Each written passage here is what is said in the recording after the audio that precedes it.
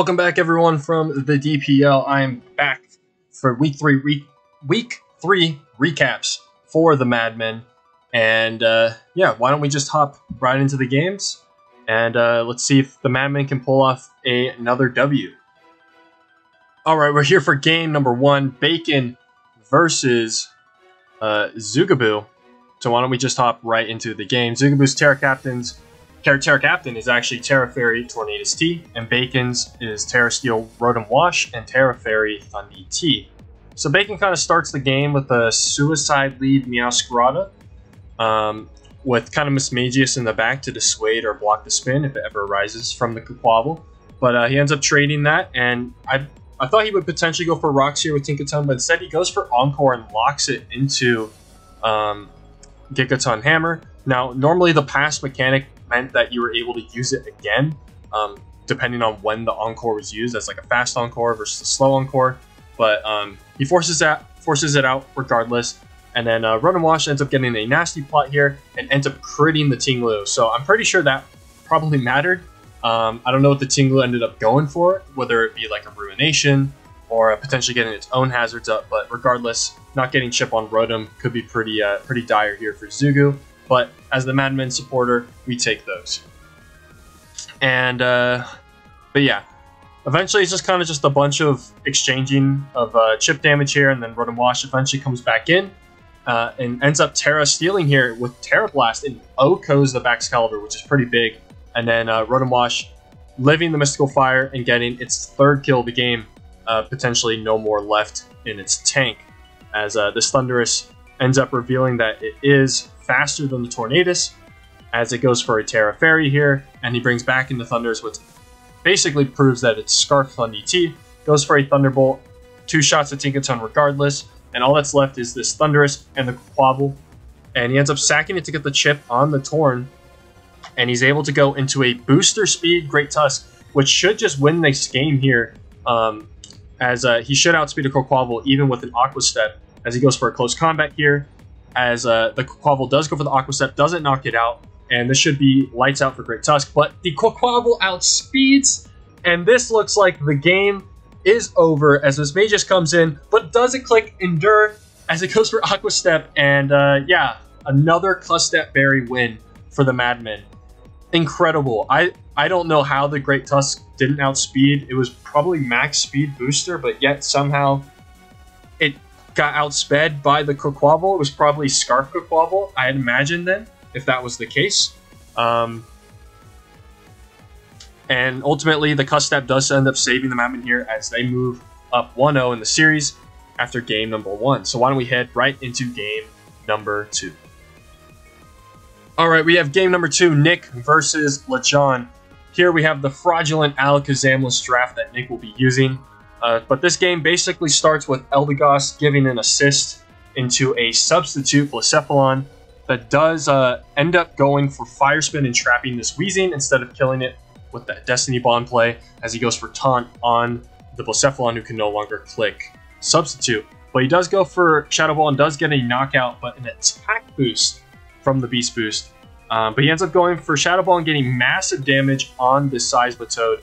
And uh, just off of lead, this uh, Blacephalon is doing a lot of work. And eventually the taunt does end, so he, he does opt to go for a Scout here and go for Substitute, um, not trying to attack the Snorlax. And then as you can see here, he does go for the Fire Spin to ensure that the Snorlax does stay in.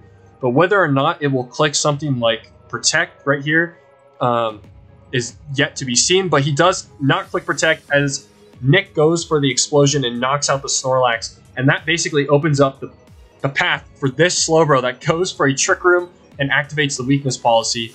Um, but yeah, at this point, he has to stall the Trick Room and he's just pivoting around Scizor and Seismitoad. And this Slowbro is going to put in some work, but he does reveal a sub Thundy Eye, which does stop this in its tracks. So he ends up swapping into his Landorus here.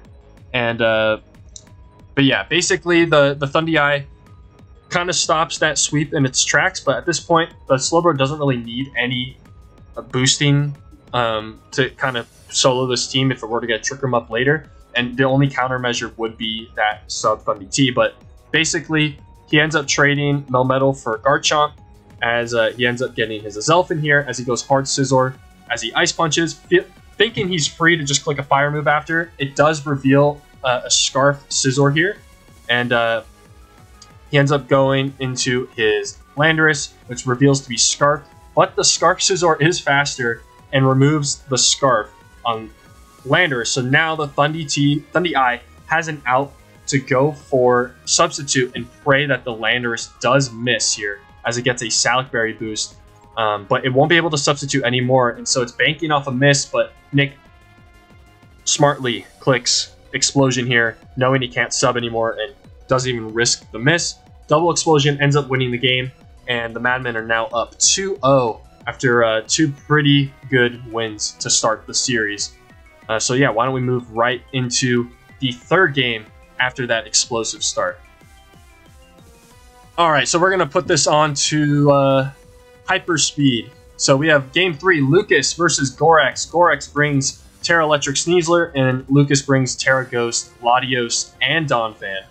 Uh, this game takes a long time, so I have sped it up into hyper fast. But essentially, the early game is just working around this bulky leftovers Tera Shell Terapagos with Toxic, as Lucas attempts to break the Tera Shell with Flip Turn Alomomola and U-Turn Zapdos. Um, Scizor, uh, I'm not bad, not Scizor yet, but um, yeah, basically, Latios is able to do a bunch of chip damage at some point and uh, kind of force some uh, pretty big uh, trades, um, as we'll see. Um, but this uh, Shocks ends up having some like weird eerie impulse set. Don't really understand, but yeah, Metagross is able to take the hit because it is a minus one Latios now, and it is pretty bulky with sub leftovers. Um, but yeah, eventually he gets uh, yeah, just doing a bunch of trades here. Um, not a whole lot. The Sableye comes in. He expects maybe an Encore to come out, but he doesn't click Encore as it is Balloon, for probably to get rid of like any uh, rapid spin shenanigans there. But Latios comes in, and uh, because of that missed burn on the uh, on the Latios, Sneasler actually ends up having an out by clicking Dire Claw and putting it to sleep which kind of benefits Gorex. Is kind of forces it out and takes out one of the the bigger uh, threats here in the game. Uh, but the Sneasler does end up getting sacked to the Weavile for for some reason. I don't know why, but there's basically no power left between Terapagos, Metagross, and Shocks. Um, as a result, Latios is able to kind of slowly sub up, whittle down the, the Metagross, as well as kind of try and 1v1 the Sandy Shocks. It can Eerie Impulse all at once, but Power Gem doesn't break the sub, as he's able to just Shadow Ball and uh, basically knock out the Shocks. And at this point, the Terapagos isn't going to be doing a whole lot, as he's going to just try and break the Tera Shell as he knocks out the Latios, and then Zapdos comes in and is able to solos Terapagos with Eerie Impulse, Roost, and Discharge Spam. Um, and because it got burned by the Terapagos' Flamethrower, which is really fortunate for Lucas, um, he cannot be toxic by this Terapagos, which allows this whole exchange to even occur, and he's able to just completely solo the Terapagos to oblivion. So now that's three straight games in a row for the Madmen. They're up 3-0. They need two more games in the next five to win the series and claim two points. They'll need one more to secure the tie. So they need to keep their foot on the gas and just maintain all of the momentum that they have right now uh, with these uh, back-to-back dominant wins. And yeah, why don't we just hop right into game four and see if the Madmen can secure the tie in four straight games. All right, we're here for game number four, iPro versus Sky Penguin. Um, this game felt like testing did not reveal all the counter leads. It felt like it was a little unpolished um, versus this hazard stack. Risking a burn off of lead there uh, would have been pretty dire for this Crustle, but it is a sturdy Custap with double hazards, as iPro's team has zero hazard removal, but um, yeah, this lead Seismitoad ends up being Sash and knocks out the Crustle, and then actually knocks out the uh, Kartana with max special attack Earth Power. And um, yeah, then he ends up sacking Koko for some reason to Nihilego instead of going into like Blastoise or Mesprit. And that's basically the game. The game is over. Um, there's not much he can do. Um, if it's like a Scarf like it is a Scarf Nihilego, so Charizard X is going to be checked regardless at this point. And um, yeah, he gets in his Celesteela, the Charizard comes in. He's able to click a, a Z move and do a, a, decent amount of damage to the Charizard as it's able to roost as he ends up going for an Earthquake. And at this point, the Charizard is forced to knock out the Steela, and in comes the Nihilego, which can just lock into Sludge Wave here and do damage to the Mesprit. He doesn't need need it anymore as the Charizard is uh, this low. Uh, he ends up going for Sludge Wave, and it does two-shot the Charizard anyways. And uh, yeah, the game ends pretty uncompetitively.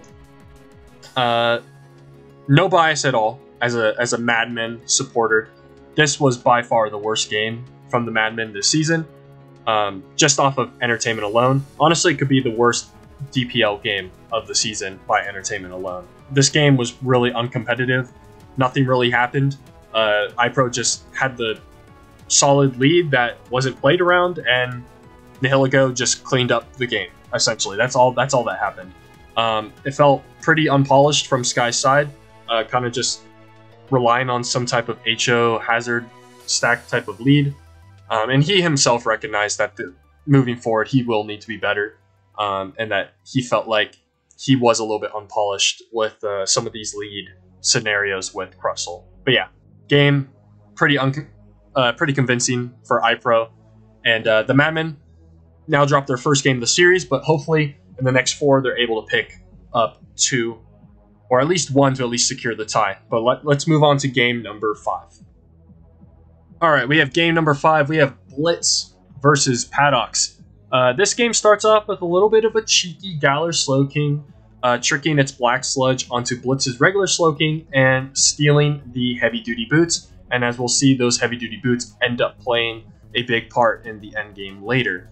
Um, and it's sort of kind of a slow burn early to get rocks up for Blitz, and then he kind of scouts off um, some of uh, Paddocks' sets, like what damage that they're doing, including what looks to be a pretty spadef or fat DD Kyurem, or this is a really weak Volcarona.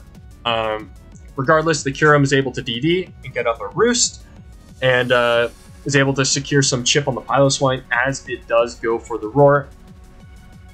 Um, but again, continuing that like slow burn of just pivoting around things uh, the best that uh, he can. He gets in his Zeraora finally as he ends up going for a knockoff. It does reveal to be Choice Banded here, which should do a massive amount of damage to this team if he's able to uh, re retain the chip on Leafeon and also chip down the Lander side um, and see potentially what this Rotom Wash and Cinderace is.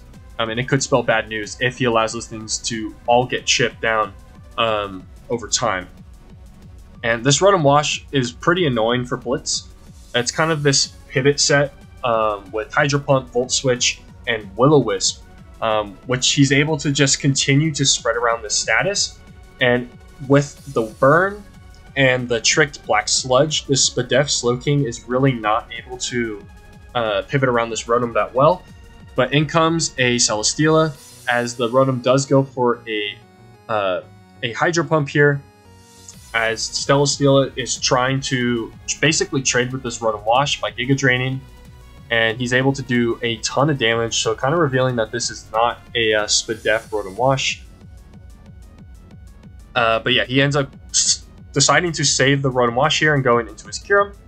And uh, yeah, just makes another double in the Slowking, kind of slowly getting burn damage off on the Celesteela. And once again, the Slowking, as much as it can come in with Spadef, it's taking massive amounts of damage, 18% each time it comes in due to Black Sludge and Burn. Um, but Slowking decides to stay in as Zera decides not to go for the knockoff, but instead goes for the Blaze Kick. Uh, fortunately, does not get burned. I mean, not, does not get uh, poisoned by the Sludge Bomb.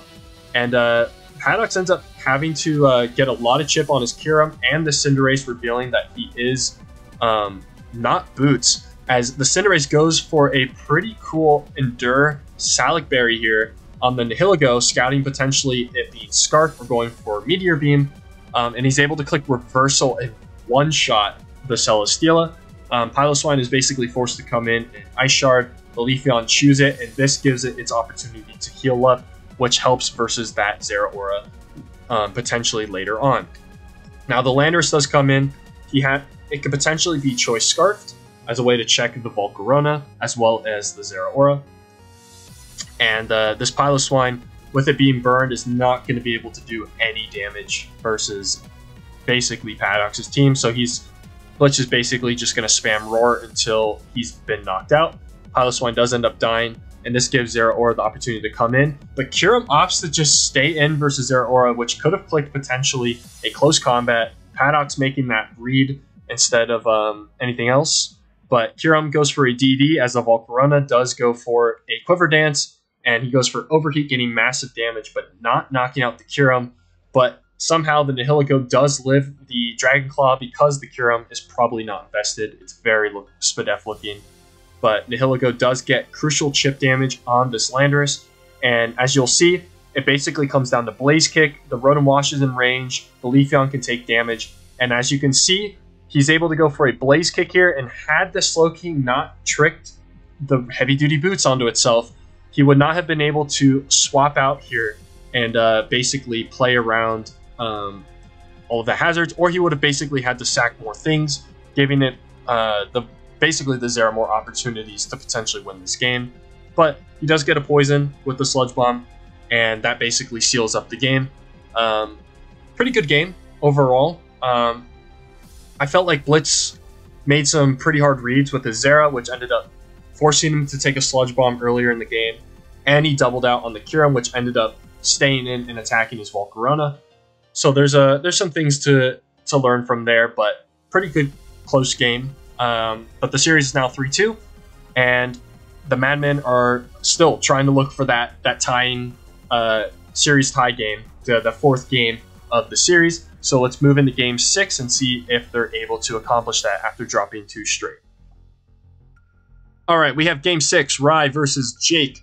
The game starts with a lead Jirachi with sort of this uh, this coverage as Rye kind of wants to scout it out, and he goes into a Swampert, which is able to dodge the play rough, and um, then he scouts any potential grass move here by going Torn, as uh, he goes for a Heat Wave versus the Jirachi going for Rocks, and that's a pretty good trade for as he's able to kind of play around all of this. He goes into a Swampert, and uh, kind of shockingly, I thought I was surprised he went into Swampert as it could get Air Slash flinched to death, but it is in fact a fast Swampert who gets up his rocks, but a big crit does come out here um, from the Togekiss. But obviously, if uh, the Jirachi had landed the play rough, it would have probably died to that air slash regardless.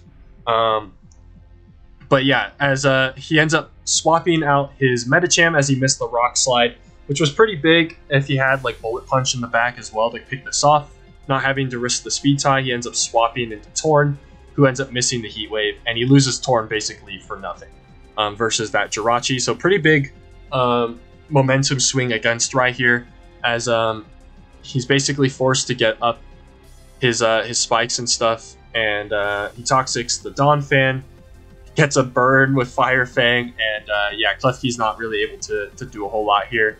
Um, but he gets his Azumarill in as, again, he goes for another spin to remove the hazards. And uh, Azumarill ends up knocking out the Dawn fan. Kyurem Black's going to come in. Rye has to play aggressively here and bring in his Hydreigon. But yeah, with the with the Torn being gone, there isn't a whole lot he can do versus things like Keldeo and Kyurem Black revenging wise.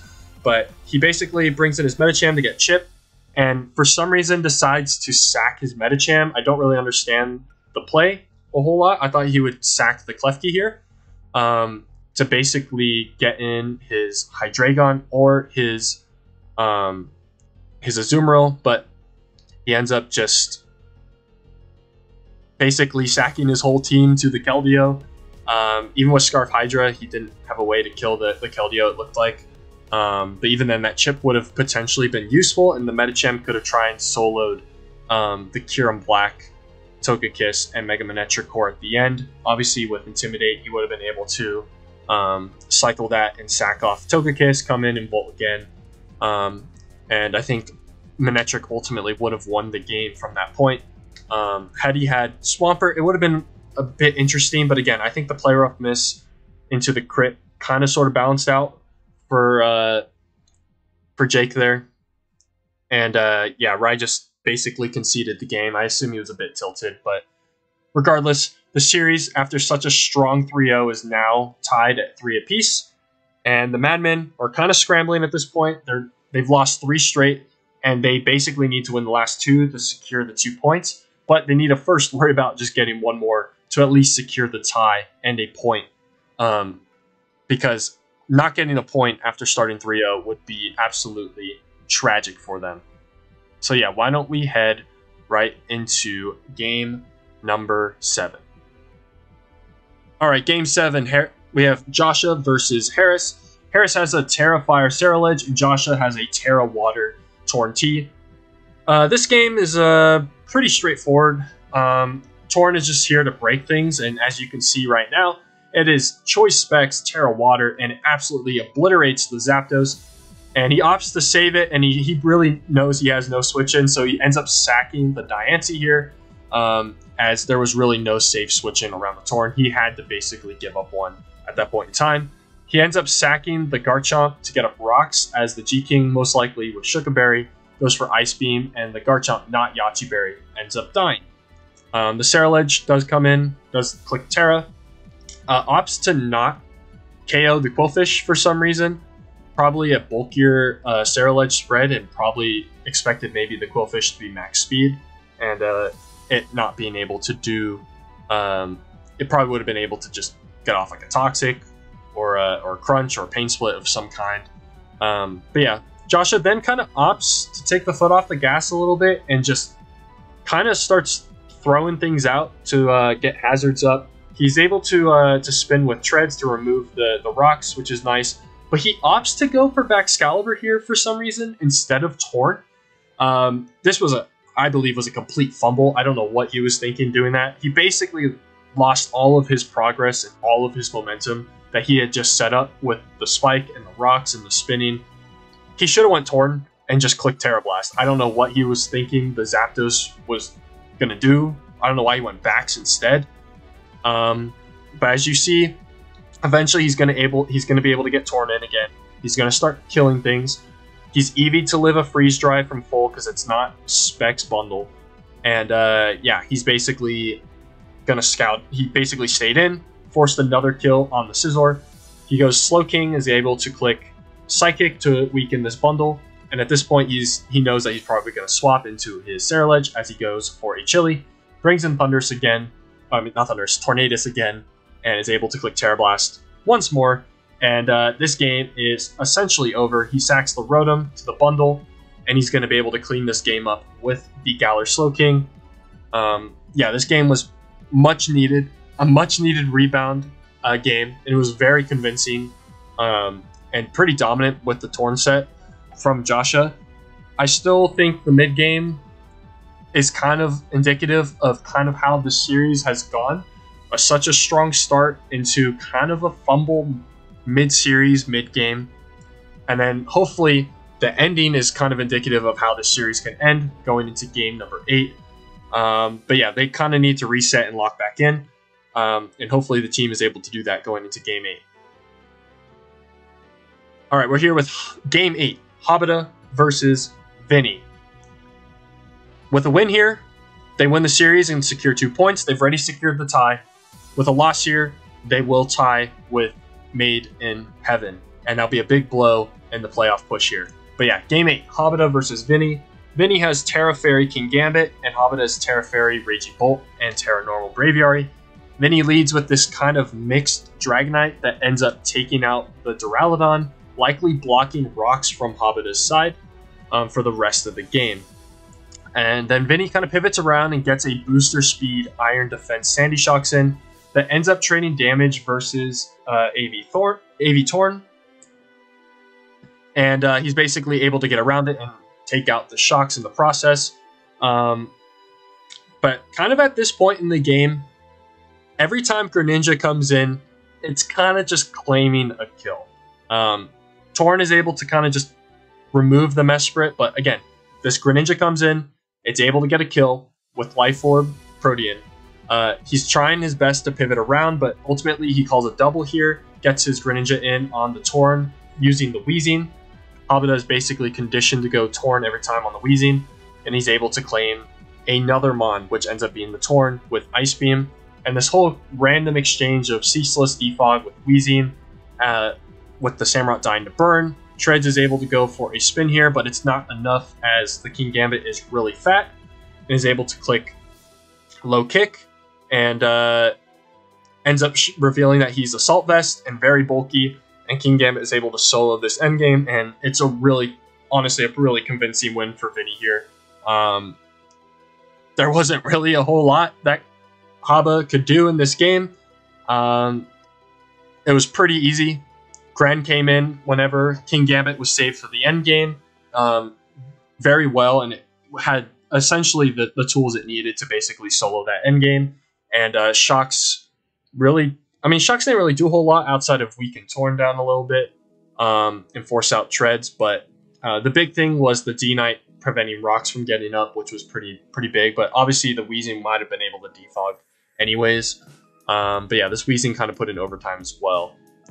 But yeah, sadly, the Madmen tie.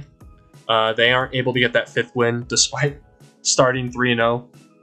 Um, and, you know, I mean, they're, they're, they got to learn. Letting games slip away will find a way to bite you in the ass. And they they can tell you that, that themselves, that they played pretty pretty bad in the middle of this series, I will say. Um, they're they're, they're going to be fine with me to also telling them that like I, I think they played pretty poor, um, and because with how the series had started, and with how they had been prepping so far, it looked like they were going to be able to, you know, take control of the series, not take their foot off the gas. It looked like they got a little bit com- too comfortable.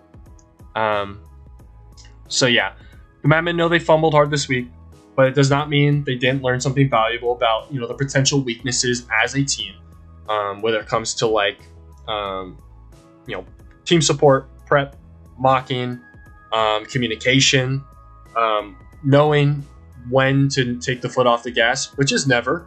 Um, so it's a good thing for them to, to figure out. But they know they can be a greater version of themselves. So come post mids, I know they will perform better um, as a team and they will have to in order to make that strong playoff push. After now, they're I think they're only at three three points after three weeks. Not ideal, but not the worst.